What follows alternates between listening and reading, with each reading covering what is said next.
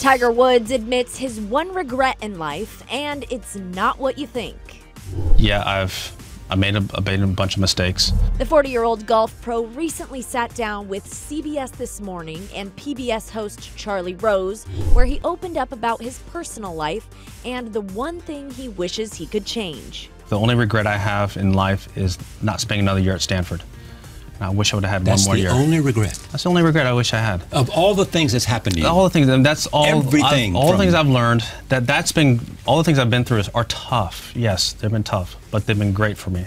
But I wish I would have gone one more year at Stanford. This may come as a surprise to Tigers fans, since the 2009 drama surrounding his split from ex wife Elin Nordegren was tumultuous and very public. But Tiger says the two are now best friends, and he's been open with their two kids about why mommy and daddy split. It's it's because Daddy made some mistakes. Daddy made some some mistakes, and I much rather hear have them hear it from me.